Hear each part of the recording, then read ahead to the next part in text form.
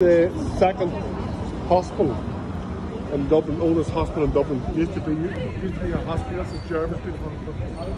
It was used um, primarily uh, after after the Easter Rising, after after World War One, and it's haunted. By what?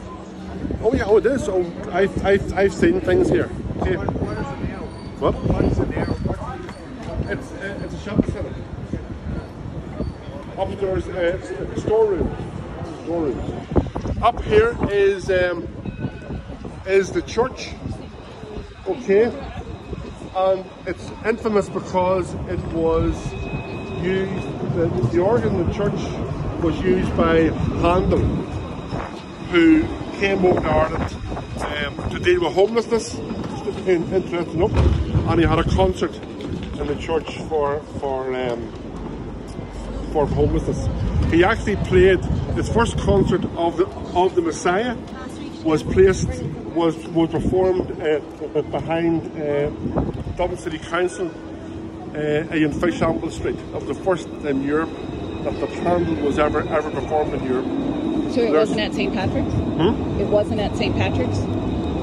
Um, he could have been, but but no, not as far as I know. But that's that's where that's where that's where, that's where he, he performed. But the other interesting fact is that there was a guy during uh, during the um, what do you call the seventeen um, 15 rebellion or something like that. Dates worked up, but there's a guy called uh, Wolseley was was called the hanging judge, and from here down to Collins Barracks, he would have executed and crucified over 150 United Irishmen.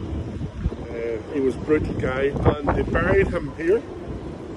And it is believed, I do, I, I do a ghost tour, but it's believed that around around this Halloween, basically, I, I always say, but it's not, it's an odd time of year, he would appear as a black dog. It's known in Dublin as, as the black dog of, of, um, of Jervis Street. So, uh, Mr. Jervis. huh? Who's Mr. Jervis?